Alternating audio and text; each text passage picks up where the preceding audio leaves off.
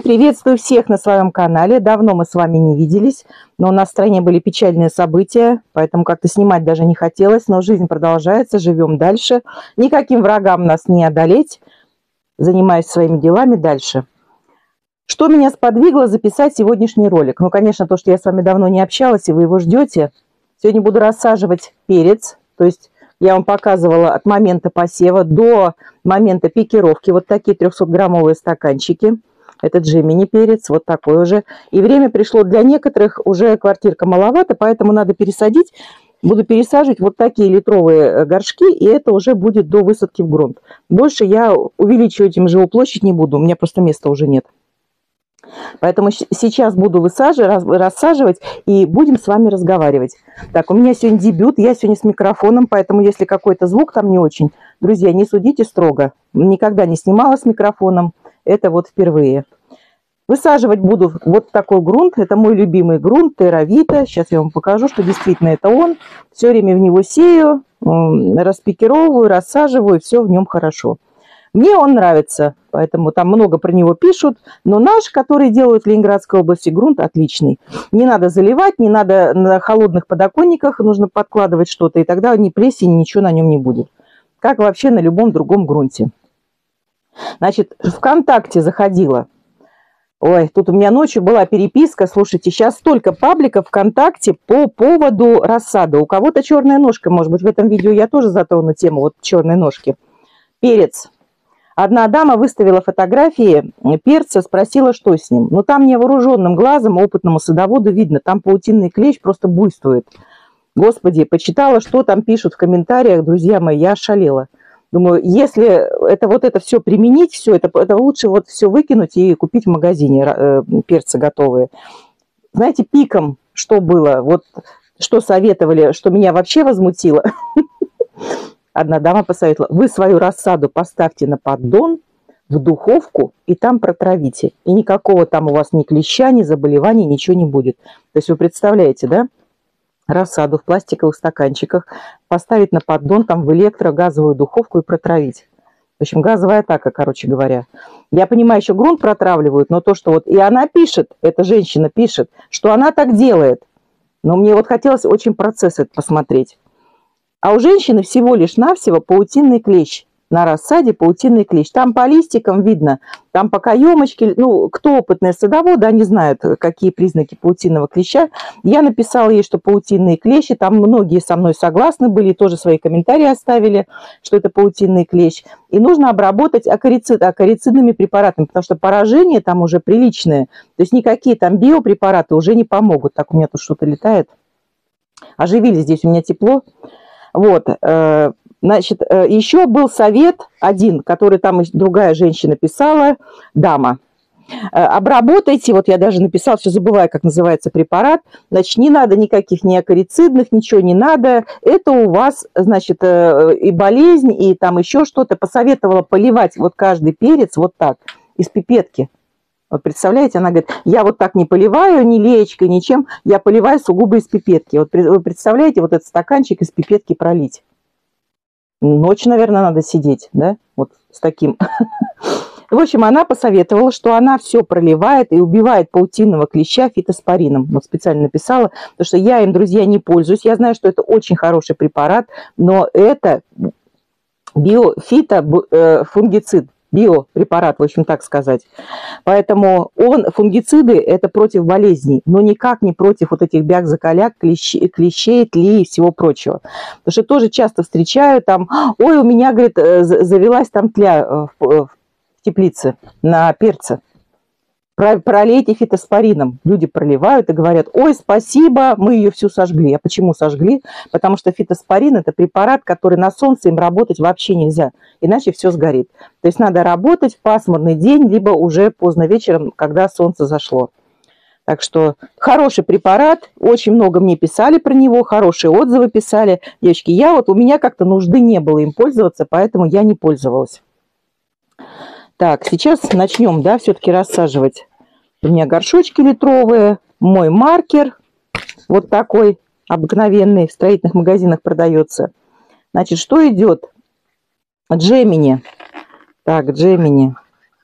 Джемини 5 штук. Обязательно подписываю вот Дж и сколько штук? 5, потому что при высадке иногда часто забываю, сколько у меня штук. Так, и на дно всегда обязательно, тут видите, сколько отверстий? ты ды дынс Поэтому земля будет просыпаться. Поэтому на дно вот я у внуков подворовываю, они там рисуют, какие-то отходы у них остаются. Вот эти листочки бумаги кладу на дно и какие-то дырочки, но не так, что плотно забить, как там пару дырочек остается, часть от них, и засыпаю туда грунт. Значит, вот на, если, если я не сказала, вот на этот тазик одна ложка столовая пролонгированного удобрения у меня добавлено, больше ничего. И грунт вот этот живая земля. Так, где у меня лечка? Лечка далеко, поэтому сейчас буду рассаживать без лейки, а потом полью. А вообще я делаю вот так. То есть полстакана, я примерно нас, меньше, чем полстакана, треть насыпаю грунтом, проливаю его из лечки аккуратненько. Ставлю туда, ну, любое растение. Здесь у меня в данном случае перец. И вот здесь сверху я уже не поливаю. Я засыпаю землей и все. Пролит у меня обычно только низ, а верх у меня остается сухим. Так что, так, друзья, ну вот что касается перца, поэтому если вы видите на перце, что что-то там у вас нехорошо, скорее всего, потому что паутинный клещ очень любит перец, особенно в рассаде, это бяка-закаляка, это животное, паутинный клещ, питается очень хорошо перцами. И не слушайте, пожалуйста, никого, кто говорит, что паутинного клеща не бывает на перцах еще как бывает, на баклажанах в первую очередь, ну и на перцах тоже фактически.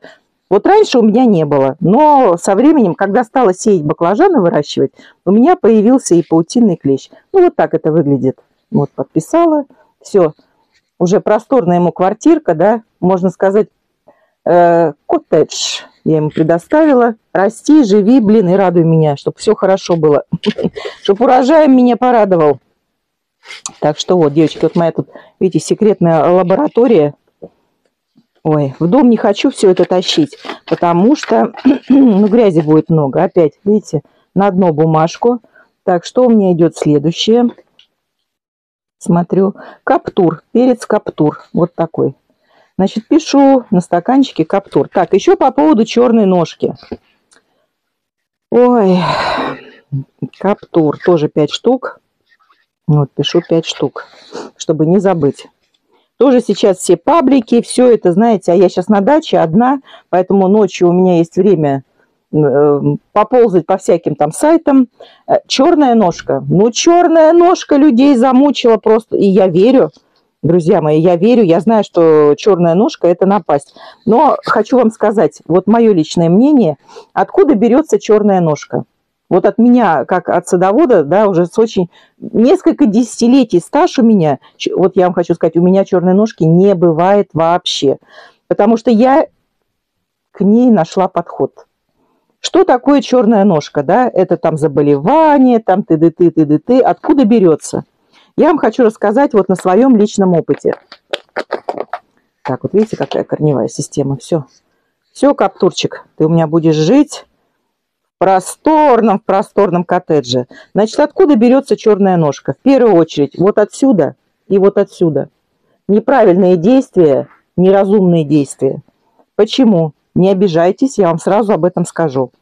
Когда-то давно, когда вот у меня начиналась дача, у нас еще не было машины, э, сын был еще там совсем маленький, да, то есть у меня квартирка в городе небольшая, ну вот, окон мне не хватало. Рассады я выращивала много. У меня у мамы были теплицы свои. И выращивала на маму и на себя. Но сильно вот так вдавливать вот здесь не надо. Все-таки корням нужен простор. Земля потом, она сама утрамбуется. Видите, какая? Ну, красотулька же, правда? Красотулька. Так, и, значит, э, места у меня не хватало, и рассаду я частично половину у меня выращивала мама у себя на окне здесь, в квартире, а половину выращивала, у нее большие подоконники, а половину в городе выращивала я. Земля была вся вот такая, я только в нее высевала, и маме привозила такую землю. Значит, мне звонит мама, она сеет у себя там томаты, я выращиваю перцы и там какие-то элитные томаты, которые, значит, маме не доверяла. Мама звонит, Вера, что делать? Тролливали, тролливали. В общем, рассада вянет вся на окне. Ну, думаю, все, она сажала в тот же день, как и я. Ну, вянет, да, я маме говорю, ну, мам, ну, если вянет, значит, наверное, полив плохой, полей получше. Она говорит, вот я полила, она вянет еще больше. Я говорю, ну подожди, я там в выходные приеду и посмотрю, что с твоей рас... что с рассадой вообще. В общем, пока наступили выходные, я вам говорила, что дача у меня в 100 километрах, машины не было, и я не могла там вот, вот так по щелчку туда приехать. Значит, приезжаю смотрю, у нее посажены рассадные ящики было, до пикировки вся рассада, ну вот эта черная ножка, да, она ее всю сразила. Значит, значит, смотрю, она вот грунт плохой. Вот такой, говорит, грунт Эровита. Думаю, ну, действительно, там уже про него начинали говорить, что там что-то плохо. Думаю, действительно, грунт плохой. Значит, я э, меняю грунт, привожу ей другой грунт, она сеет, и все то же самое. Благо, у меня мама сеяла рассаду рано, то есть время позволяла. Она сеет все то же самое – так, ничего не пойму. Девочки, и потом до меня доходит. Я подхожу к подоконникам, у нее тогда еще были обы- обыкновенные, у нее здоровые окна в квартире. Не пластиковые, а обыкновенные вот эти деревянные окна. А, ставлю руку на подоконник, то есть не просто вот так потрогали, да, а вот так подержала. Боже, как там дует. Там так дует, Получается, что вот эта земля, она в этих рассадных ящичках, она ледяная, потому что никакой прокладки на подоконнике от окна нет защищающей от подоконника. И плюс она, а так как она вянет рассада, то есть первое, что действие у мамы, да, поливать. Она падала, вот так заваливалась.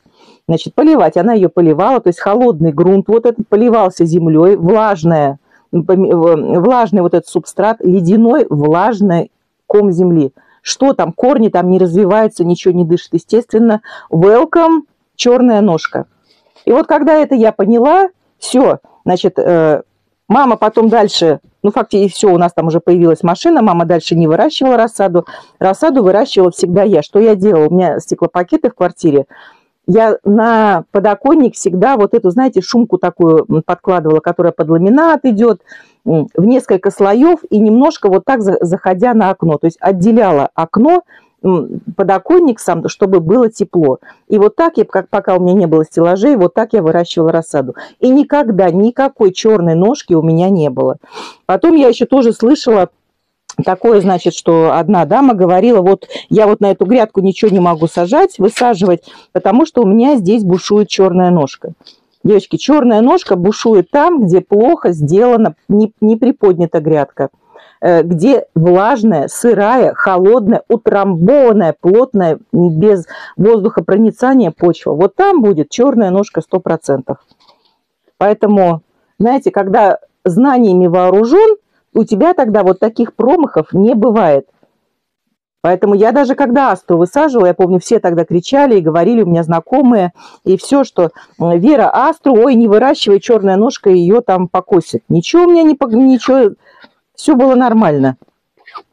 Потому что выращивала, уже давно знала, что нужен теплый подоконник, чтобы грунт был теплый и поливать вот не сразу ледяной водой из-под крана, а, конечно, чтобы вода вот в квартире, она отстоялась и была комнатной температуры.